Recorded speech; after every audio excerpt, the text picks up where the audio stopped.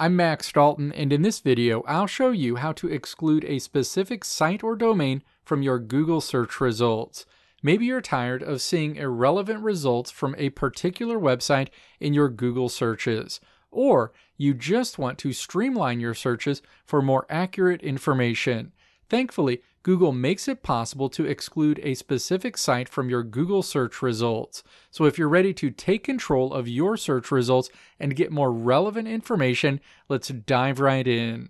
Step 1. Navigate to google.com in a web browser. You'll land on the Google homepage. Step 2. Enter the query you want to search Google for.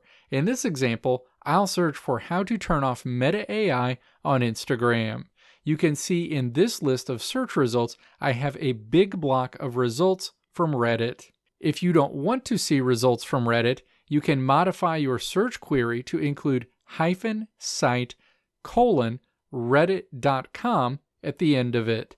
Now, when you run the modified search query, your returned results won't include any from Reddit.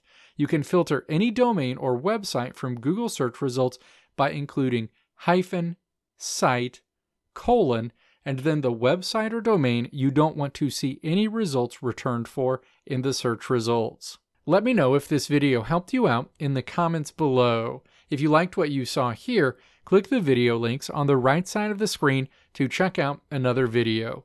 Or click the logo on the left side of the screen to check out my tutorial website at www.maxdalton.how.